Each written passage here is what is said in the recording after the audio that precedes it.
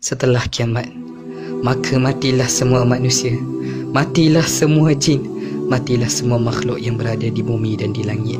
Melainkan malaikat maut.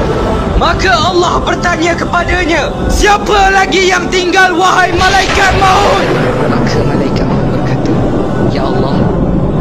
Siapa yang tinggal melainkan Jibril, Mikael, Israfil dan segala malaikat yang membawa singgasanamu ya Allah.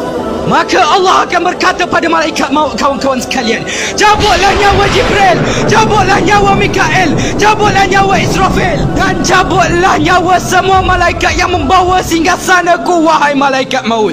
Kemudian Allah yang maha berkuasa bertanya lagi, siapa yang tinggal wahai malaikat maut? Maka malaikat maut pun menjawab Berikan aku Hambamu yang lemah ini ya Allah. Maka Allah memerintahkannya. Cabutlah nyawa kau wahai malaikat maut. Sakitnya mati ini kawan-kawan sekalian.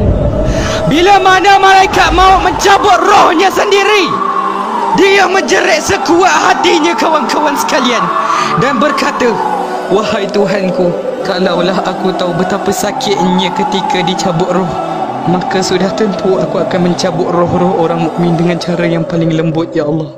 Setelah itulah Allah akan menggulung segala langit dan dunia di genggamannya.